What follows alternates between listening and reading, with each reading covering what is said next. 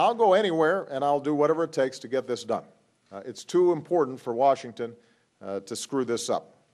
Now's the time for us to work on what we all agree to, which is let's keep middle-class taxes low. That's what our economy needs. That's what the American people deserve. And if we get this part of it right, then a lot of the other issues surrounding deficit reduction in a fair and balanced and responsible way are going to be a whole lot easier. And if we get this wrong, the economy is going to go south. If both parties agree we should not raise taxes on middle-class families, let's begin our work with where we agree.